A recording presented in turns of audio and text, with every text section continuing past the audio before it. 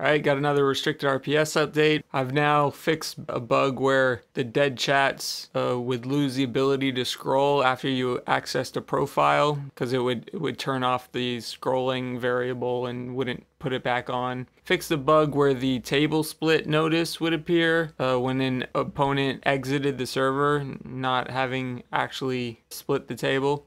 Uh, change the, the colors on the meeting request buttons because I, want it to look a little nicer. I fixed a bug where changes to the main hall buttons would reset the camera and clear the like in-scene avatars so now it doesn't like stutter on the last turn or when the setting's been changed.